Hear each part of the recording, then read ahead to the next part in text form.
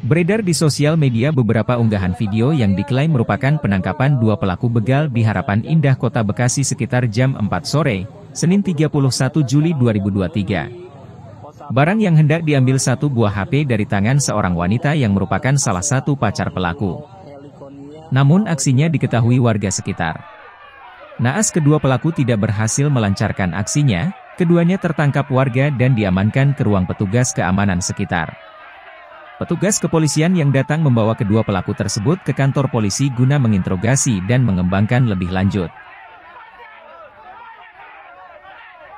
Dari Bekasi, Jawa Barat, tim liputan melaporkan.